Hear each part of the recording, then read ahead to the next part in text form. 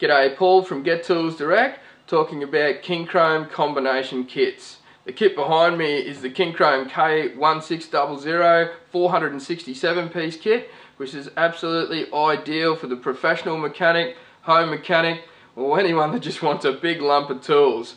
Comes with a fantastic 6 drawer roller cab and the 7 drawer 7 ball bearing top box as well. Okay, and that's just the start though when it comes to Kincrome combination toolkits because we have an absolute bucket load on our website. So if you'd like to look at the full range, go to our website.